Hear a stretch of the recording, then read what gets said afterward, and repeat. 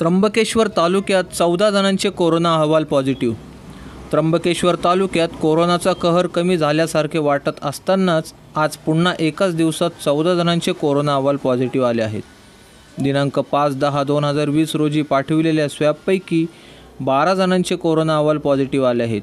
त्यातील त्र्यंबकेश्वर शहरातील त्र्यंबकेश्वर मंदिरामागील सत्तावन्न वर्षीय पुरुष पाटील गल्ली येथील सत्तावीस वर्षीय स्त्री तळवाडे येथील तेवीस वर्षीय पुरुष चोवीस वर्षीय व अठ्ठेचाळीस वर्षीय स्त्री वाडोली येथील अडोतीस वर्षीय व वीस वर्षीय स्त्री पहिणे येथील तीस वर्षीय पुरुष पंचवीस वर्षीय स्त्री दलपतपूर येथील पंचावन्न वर्षीय पुरुष हतलोंडी येथील सतरा वर्षीय स्त्री नाशिक येथील एक तर खाजगी लॅबमधील अहवालात एकोणतीस वर्षीय पुरुष व पंचवीस वर्षीय स्त्री असे एकूण चौदा जणांचे कोरोना अहवाल पॉझिटिव्ह आले आहेत.